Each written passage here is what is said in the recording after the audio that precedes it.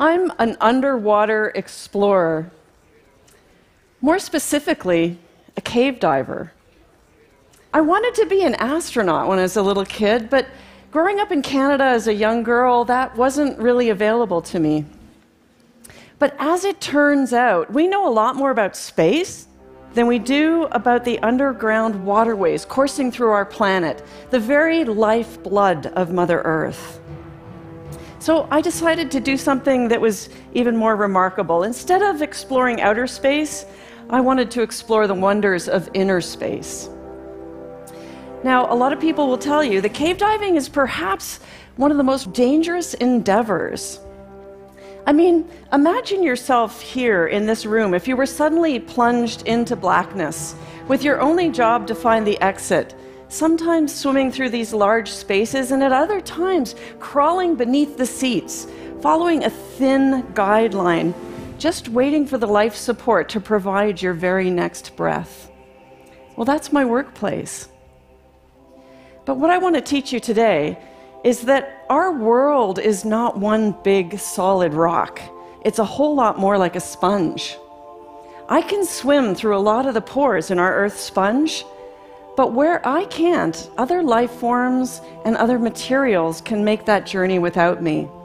And my voice is the one that's going to teach you about the inside of Mother Earth.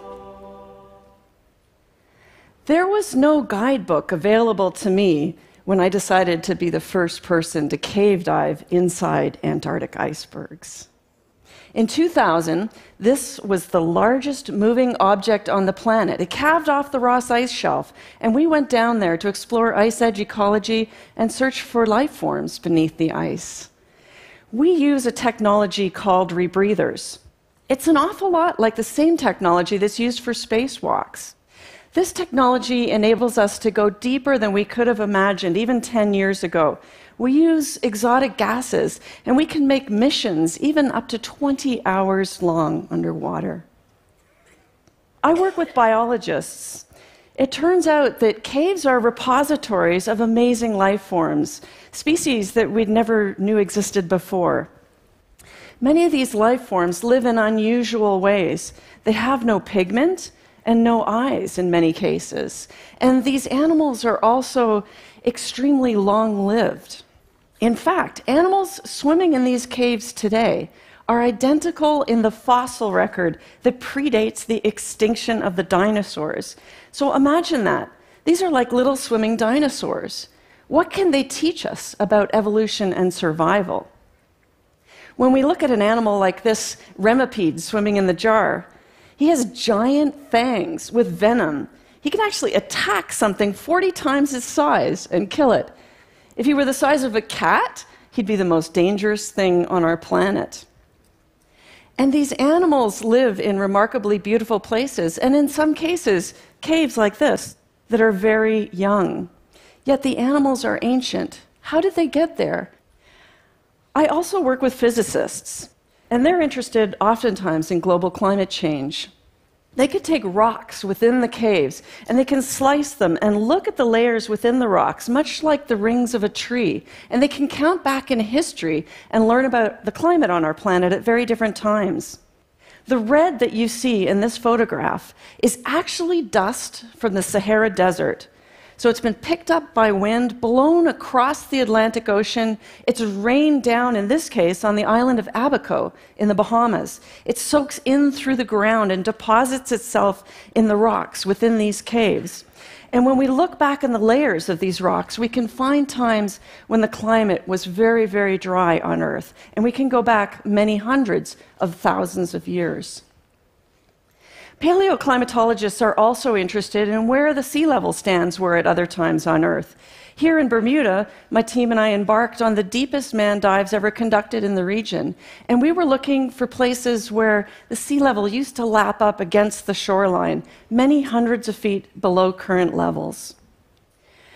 I also get to work with paleontologists and archaeologists. In places like Mexico, in the Bahamas, and even in Cuba, we're looking at cultural remains and also human remains in caves. And they tell us a lot about some of the earliest inhabitants of these regions. But my very favorite project of all was over 15 years ago when I was a part of a team that made the very first accurate three dimensional map of a subterranean surface. This device that I'm driving through the cave was actually creating a three dimensional model as we drove it. We also used ultra low frequency radio to broadcast back to the surface our exact position within the cave. So I swim under houses and businesses and bowling alleys and golf courses and even under a Sonny's barbecue restaurant. Pretty remarkable. And what that taught me was that everything we do on the surface of our earth will be returned to us to drink. Our water planet is not just rivers, lakes, and oceans, but it's this vast network of groundwater that knits us all together. It's a shared resource from which we all drink. And when we can understand our human connections with our groundwater and all of our water resources on this planet, then we'll be working on the problem that's probably the most important issue of this century. So, I never got to be that astronaut that I always wanted to be, but this mapping device designed by Dr. Bill Stone will be. It's actually morphed. It's now a self swimming, autonomous robot, artificially intelligent, and its ultimate goal is to go to Jupiter's moon Europa and explore oceans beneath the frozen surface of that body. And that's pretty amazing.